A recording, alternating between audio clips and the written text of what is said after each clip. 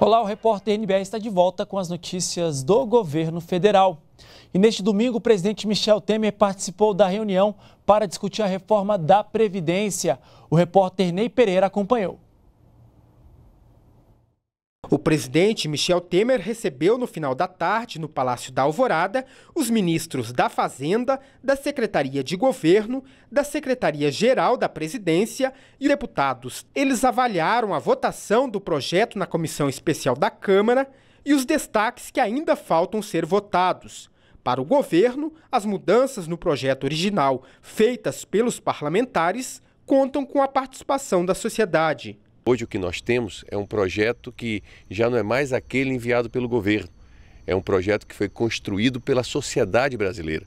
Porque na medida em que tivemos a oportunidade de incorporar opiniões que vieram de palestrantes, representantes da, da, das entidades civis que foram à, à comissão mostrar o seu ponto de vista e mesmo quando absorvemos a opinião de muitos parlamentares que trouxeram da sua base a opinião, a, a, o, o recado dizendo aquilo que cabia e que não cabia na PEC, sem dúvida nós tivemos agora uma cara nova que representa realmente o sentimento da sociedade brasileira. O projeto foi aprovado na semana passada na Comissão Especial da Câmara dos Deputados e agora tem que passar pelo plenário da Casa em votação em dois turnos. E para ser aprovado, precisa de no mínimo 308 votos favoráveis. E é para obter os votos dos deputados que o governo está trabalhando. O governo tem uma expectativa muito forte com relação à aprovação da reforma da Previdência, porque o texto que está sendo aprovado, ele combate o privilégio e protege as pessoas vulneráveis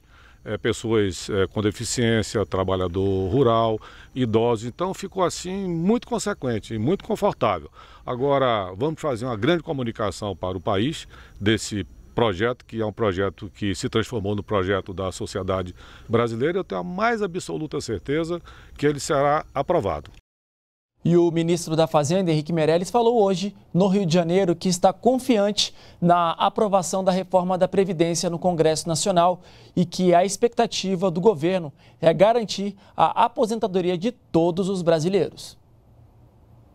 O que está em jogo não é se alguém vai se aposentar uh, dois, três anos depois ou, ou antes. Está se discutindo na realidade até que ponto todos os brasileiros terão a garantia de que vão receber a sua aposentadoria, porque Previdência pode ter problema, pode quebrar, pode ficar insolvente, como está acontecendo ou perto disso em alguns estados brasileiros, e já aconteceu em muitos países que tiveram até que diminuir o valor da aposentadoria das pessoas já aposentadas. O Brasil está longe disso, porque está na hora de fazer a reforma. Portanto, acreditamos que haverá sim a aprovação de algo que garanta a todos que a Previdência Social do Brasil continuará solvente.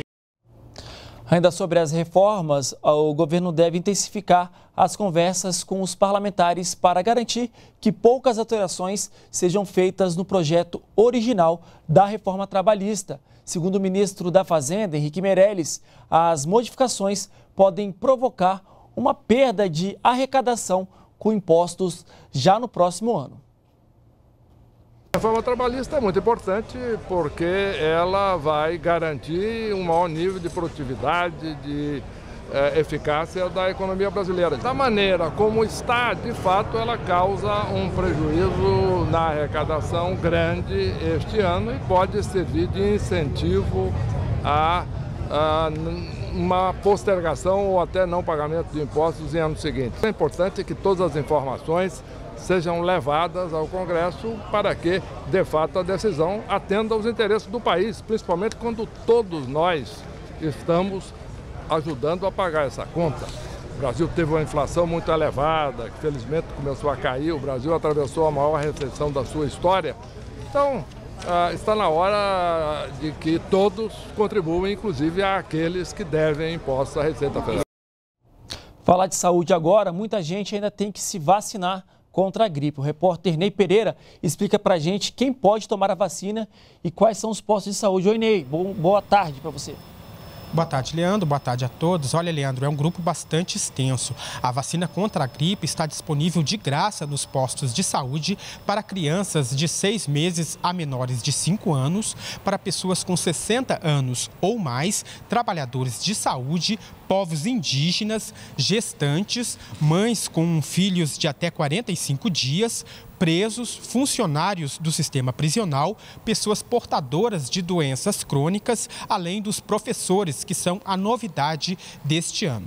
As pessoas que se enquadram nesses grupos devem se apressar, porque faltam menos de 20 dias para o final da campanha de vacinação. Até agora, pouco mais de 33 milhões e meio de brasileiros compareceram aos postos de saúde de todo o país. O número representa 27,5% 0,5% do público-alvo, formado por mais de 54 milhões de pessoas consideradas mais vulneráveis a complicações causadas pela gripe. A meta neste ano é vacinar 90% desse público até o dia 26 de maio, quando termina a campanha. O dia D de mobilização nacional será no próximo sábado, dia 13 de maio. O Ministério da Saúde adquiriu 60 milhões de doses da vacina, o suficiente para atender atender a demanda do público-alvo em todo o país. Eu volto com você no estúdio, Leandro. Tá ok, Ney. Obrigado pelas suas informações.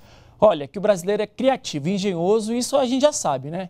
E uma exposição no Museu do Amanhã, no Rio de Janeiro, mostra algumas dessas inovações para que transformaram vidas pelo país e pelo mundo.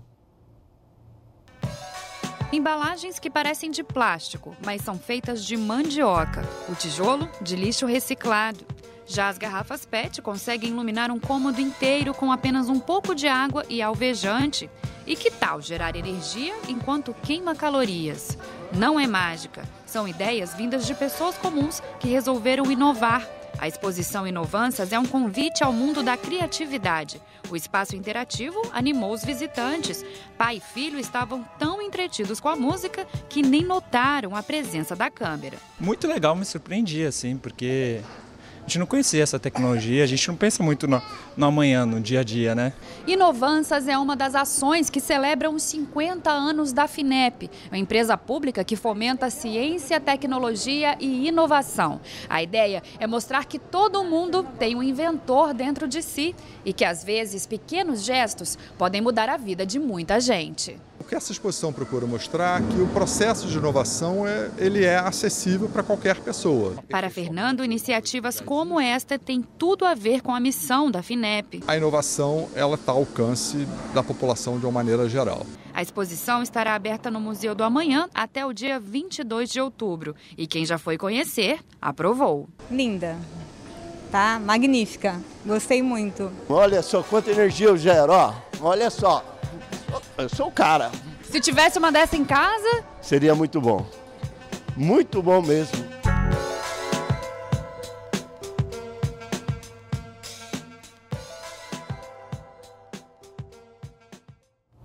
E nós ficamos por aqui. Outras notícias você acompanha também em nossas redes sociais. Continue com a gente aqui na NBR, a TV do Governo Federal.